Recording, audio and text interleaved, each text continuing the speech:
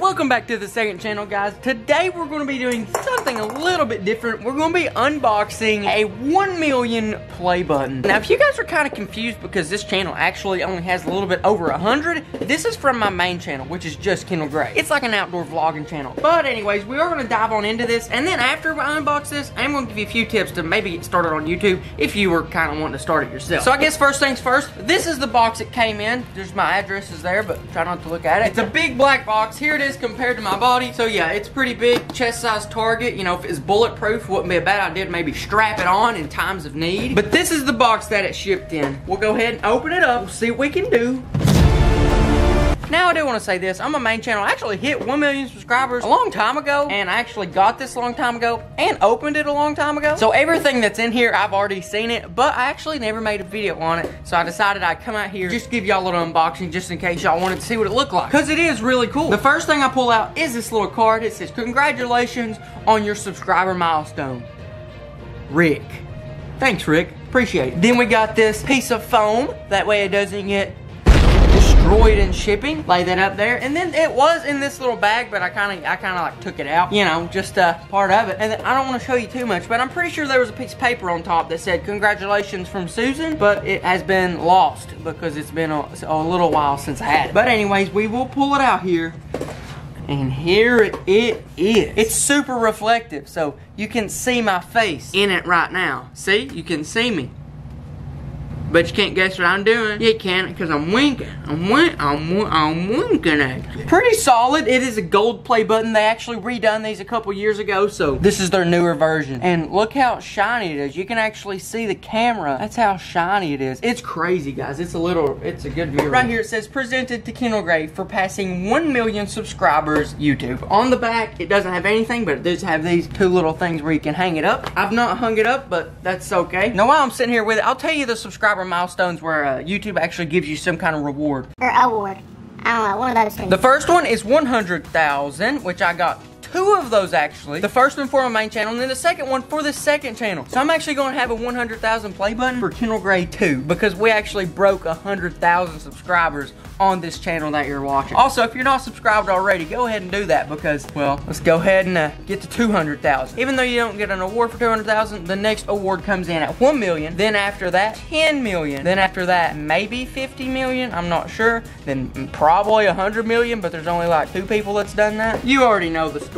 Oh, T-Series and PewPop Da, Pie, Beauty, and Pew Da, PewPada.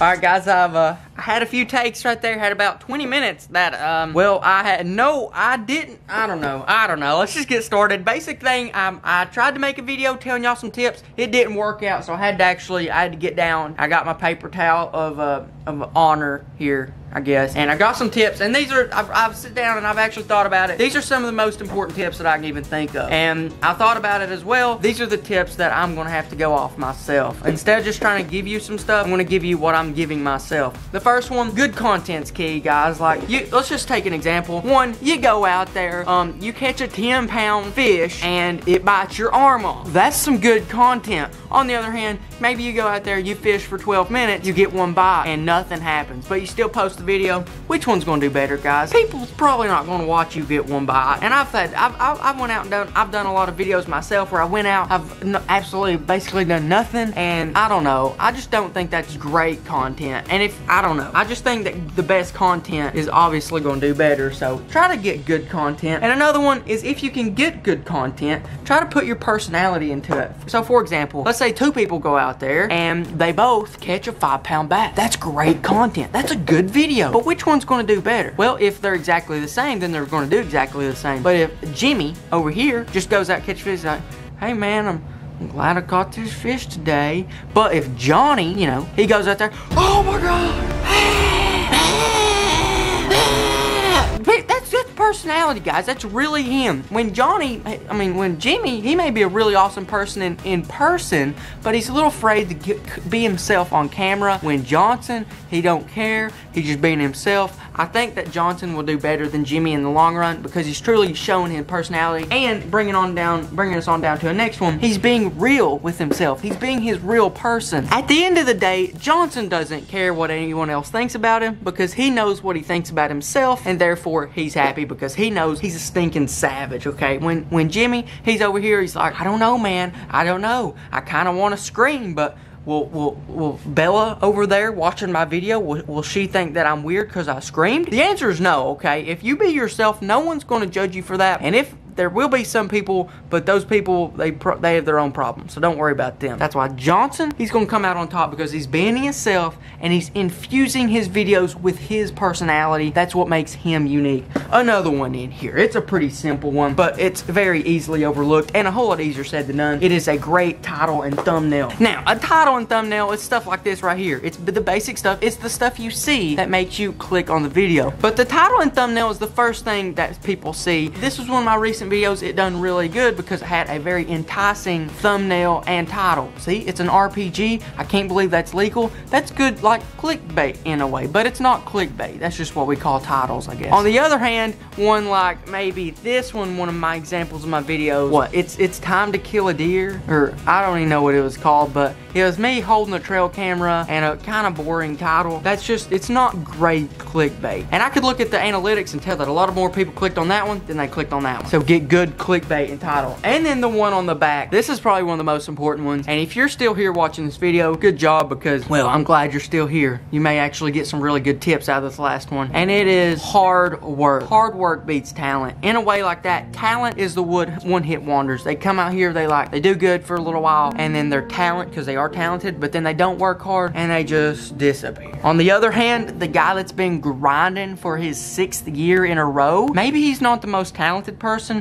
but he works harder than everybody else. That's why he's here, and he's not went anywhere in the last six years. And another thing, if you're not willing to come out here and put in the hard work, maybe you have to question yourself, do you really want it? Because a lot of people think that they want it. A lot of people thinks that they want to be YouTubers and stuff like that. But then whenever it comes down to it, you know, like you gotta go out, you gotta make solid videos, you gotta get up early, you gotta edit them, all that stuff. Very quickly, they realize that, you know what, maybe they don't want to work that hard, and that's whenever they realize maybe they didn't really want it as much as they thought they wanted. Okay, there's a big difference between thinking you want something and actually wanting something. If you truly want something super bad, like that is a desire, burning desire, I think you'll do whatever it takes to get there. And if you are one of those people who really do have a burning desire to become a YouTuber, and you put in the hard work, and you can be consistent, and you don't give up, even when bad things are happening, and nobody watches a single video, if you if you come out here and you still work hard after that can happen, well, I think you can be a YouTuber.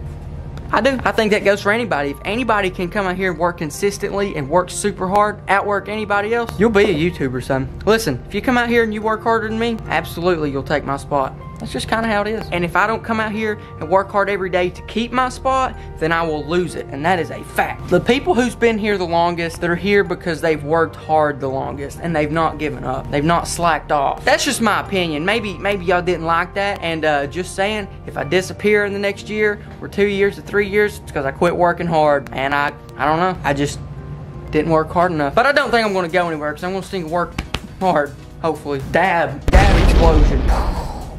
But anyways, guys, I got a little heated right there, mainly because, I don't know, maybe my blood pressure's popping up, my, my, my veins start to sweat. Anyways, we got a good unboxing in right there. Gave you a few tips. If you actually apply these, not even for YouTube, if you apply this type of stuff, these very basic concepts to anything, whether you want to go to the NBA, this formula works for that too. But anyways, I hope you liked the video. Sorry if you didn't. I guess. But 5,000 likes, and I will do the unboxing for my 100,000 for Kendall Great Dog. Welcome back to my second channel, guys. Today, we actually got a new dog. Watch out, Chip. What are you doing, Chip? What are you doing, Tater? but now it's time I do want to show you the dog. He is right here. Here he comes. How you doing, buddy? How you doing, buddy? How you doing? This is our newest dog, guys. His name's Chad. Now, Chad is a Norwegian elk hound, the same breed as Sheba. You can tell because they look the same. Ain't that right, Chad? Come here, Chad. Come here, Chad. Come here, Chad. Come here, Chad. Good doggy, good doggy. He is pretty fearless, mainly because he, he's not smart enough to understand what it should be afraid of, but I think he does have good potential.